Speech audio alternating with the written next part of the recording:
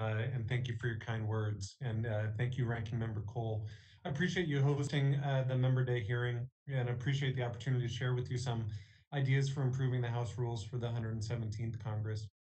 Two years ago, uh, in testimony before this committee, I proposed as part of the House rules for the 116th Congress a committee to consider measures to improve the operation of Congress and an independent as an independent and co-equal branch of government. And under your leadership, the Select Committee on the Modernization of Congress was created as part of the rules package for the 116th. Uh, as chair of the Select Committee, I'm here to um, say thank you for your guidance and support over the past two years. I'm very grateful to you and to your staff.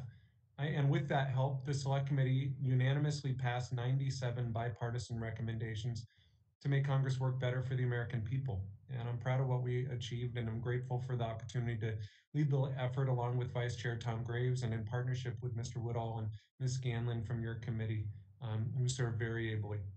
I'm also here to share with you some of the bipartisan recommendations the Select Committee recently passed that would improve the way the House functions. The Select Committee spent a lot of time focusing on ways to reclaim Congress's Article 1 powers and made a number of strong recommendations in that space.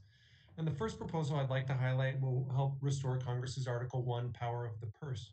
We recommended on a bipartisan basis a community focused grant program to reduce dysfunction in the annual budgeting process and to restore Congress's unique constitutional authority to appropriate federal dollars to support projects that have the broad support of local communities across the United States. This competitive grant program calls for transparency and accountability and supports meaningful and transformative investments in the communities we represent. Taxpayer dollars will be spent more efficiently and transparently on local projects with guardrails against abuse.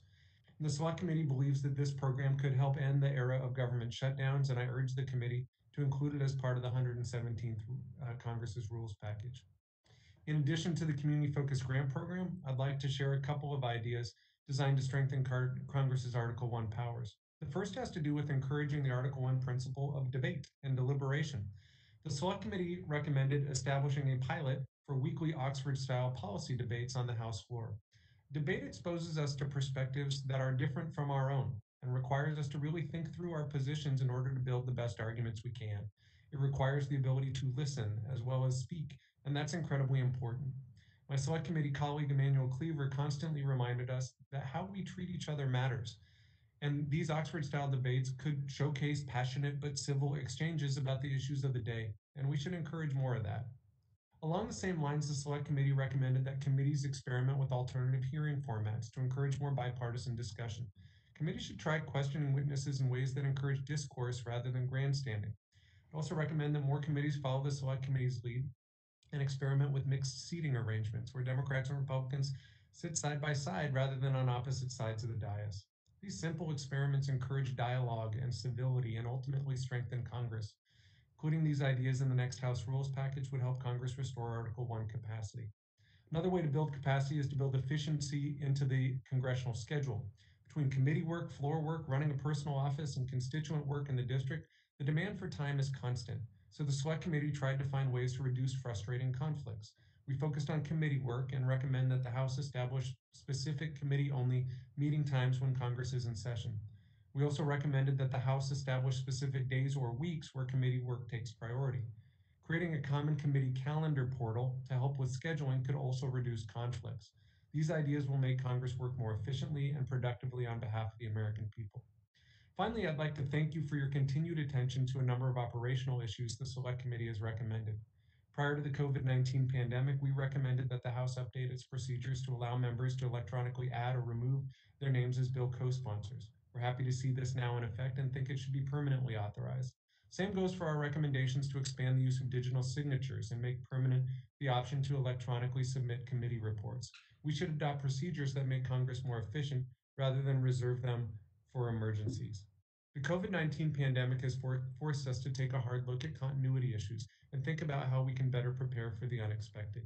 The Select Committee uh, recommends that committees establish bipartisan telework policies and update systems to encourage in person electronic voting and other modern technologies. Cybersecurity, telework, and emergency preparedness training should also be given to all members of Congress. By taking these steps, we can ensure that Congress is fully prepared in the event of another crisis.